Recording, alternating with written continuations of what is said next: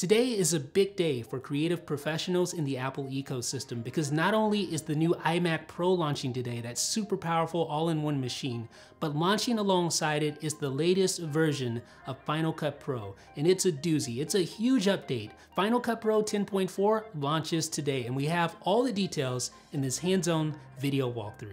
Check it out. Last week in New York, Apple provided us with a walkthrough of some of the new features found in Final Cut Pro 10.4. And we've been using the update for the last several days. Now, as you'll learn, Final Cut Pro 10.4 is packed with new enhancements and features, but there are three standout features that I'd like to talk about first. Number one is 360 degree VR support. Number two is advanced color grading tools. And then number three is support for HDR workflows, high dynamic range. Now, of course, that's not all. There are tons of other noteworthy features in Final Cut Pro 10.4, and we'll discuss those near the end of the video, so stick around and check it out. Let's start off with 360 degree VR. In Final Cut Pro 10.4, it's now possible to import, edit, and deliver 360 degree video in both monoscopic and stereoscopic formats. So this means that if you own a camera capable of shooting 360 degree video like the Samsung Gear 360 or the Vuze 360 VR, you can place that stitched footage into Final Cut Pro 10 and edit it. But what's really cool is that you can connect an HTC Vive and view your 360 degree footage right from within a VR headset. You can even monitor what a person sees within the headset right from within Final Cut Pro 10. And of course, there are special editing tools associated with VR content, along with dedicated 360 degree video effects like blur, glow, and sharpness. There are also additional titles and generators specifically built for this type of video, along with the new version of Apple Motion that's primed for 360 degree motion graphics content. It's really awesome. Having the ability to be able to edit and deliver 360 videos within Final Cut Pro 10 is a big deal because users are actively looking for ways to differentiate and diversify their content strategies. And this is definitely one way to do so. Now let's talk about probably one of the most exciting things about Final Cut Pro 10, advanced color grading. In prior versions of Final Cut Pro, those who wished to modify color had access to things like the color board along with a few other basic tools.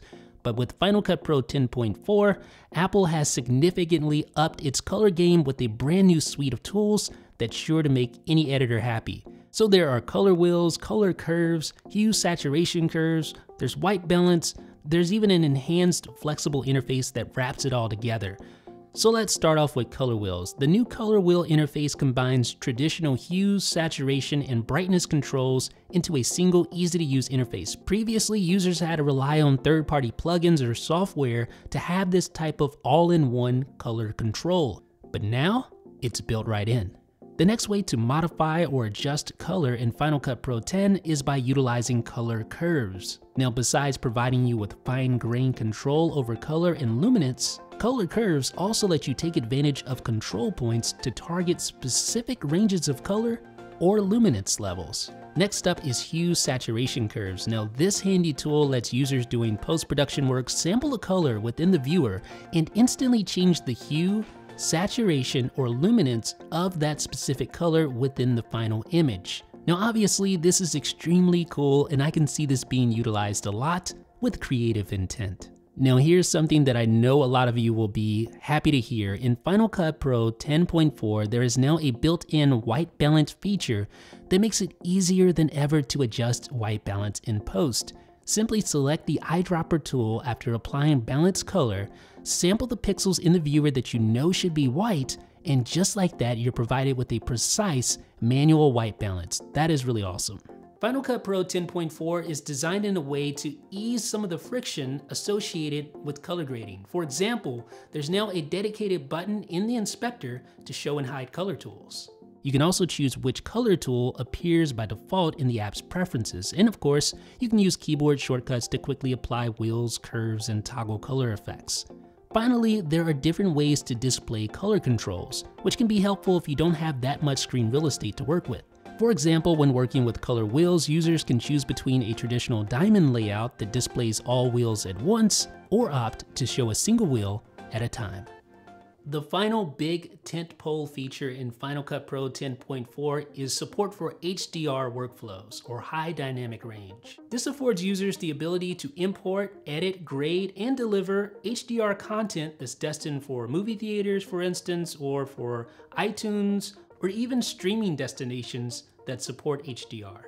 There's three HDR-centric areas to focus on within Final Cut Pro 10.4, and those are HDR formats, scopes, and monitoring. Final Cut Pro 10.4 supports two standard HDR video formats, Rec 2020 HLG and Rec 2020 PQ for HDR10 output.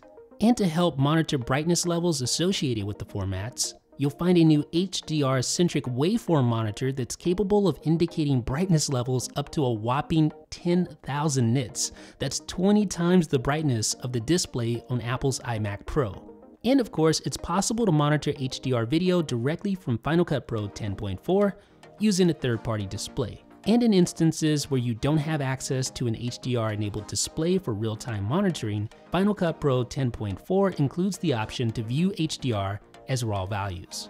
Now those are the three big tentpole features, but there are many other key features in Final Cut Pro 10.4, including iMovie for iOS import, it's finally possible to produce a rough cut of a project in iMovie on iOS and import that project directly to Final Cut Pro 10. Previously, such a workflow was only available between the mobile and desktop versions of iMovie. Now this is a great way to quickly conceptualize right there on location directly from your iPad or your iPhone, and then later send that footage over to Final Cut Pro for more advanced editing. Final Cut Pro 10.4 also brings custom LUT support to the table, allowing users to add custom LUTs to clips in the timeline. And since this is a standard effect in Final Cut Pro 10, it's easy to drag and drop a custom LUT onto the timeline and swap its order in the effects stack. And if you import log footage, Final Cut Pro 10 is smart enough to apply the proper Rec 709 values to that footage in the browser. And yes, Final Cut Pro 10.4 adds HEVC support. If you use an iPhone 7 or later and are running iOS 11, you have the option of shooting 4K video using the new HEVC or H.265 codec.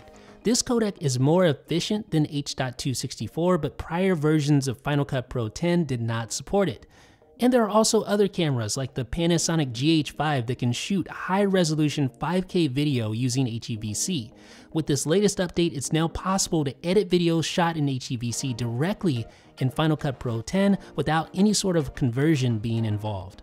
Now Canon C200 owners will love the fact that you can now natively edit Canon Cinema Raw Light video directly in Final Cut Pro 10. It's even smart enough to automatically apply the correct gamma LUT to convert log footage to Rec 709. That way it looks great right there in the browser. Logic Pro plugins have long been a feature in Final Cut Pro 10, but they've yet to receive a significant update until now. Each Logic Pro plugin has been updated for Retina displays, that's really nice, and also features resizable layouts. It's a small detail, but one that is nonetheless appreciated. Now Final Cut Pro 10 brings in XML 1.7 support, and XML of course allows you to interact with other apps. Uh, for instance, when you're doing color grading and you wanna send out um, whatever you're working on to another color grading app, you can do so with XML. And XML 1.7 now gives you those advanced hooks for some of the new features in Final Cut Pro 10.4, such as HDR, uh, the advanced color controls, and of course 360 degree video. And in Final Cut Pro 10.4, optical flow is now built on metal, making it faster to create high quality retiming effects. What that means is that Final Cut Pro 10 has the ability to produce super smooth slow motion footage even if you shot at a relatively low frame rate. And finally, Final Cut Pro 10 now officially supports storing libraries and source media on shared storage devices that utilize the NFS protocol. NFS support lets multiple users access media assets when working on the same material. It goes without saying that this is a massive new update for Final Cut Pro 10, the biggest update since the app relaunched back in 2011, six and a half years ago. Now, just personally speaking, in my eyes, I think the new color grading features are by far the most exciting new thing about Final Cut Pro 10.4. It means you no longer have to necessarily rely on some of the third-party plugins that you used to, although some of those tools are still valid and still very helpful, even with 10.4. But I wanna know what you guys and gals appreciate the most about Final Cut Pro 10.4. Let me know down below in the comment section. And if you appreciated this video, leave me a thumbs up. And of course, subscribe if you haven't done so. We'll have many more Final Cut Pro 10 videos in the future. And when you think about it, it's only right that Final Cut Pro 10.4, a huge update, launches at the same time as the new iMac Pro. So don't forget that new iMac Pro launches today as well. Let me know what you guys think down below in the comment section. This is Jeff with 9 to 5 Mac.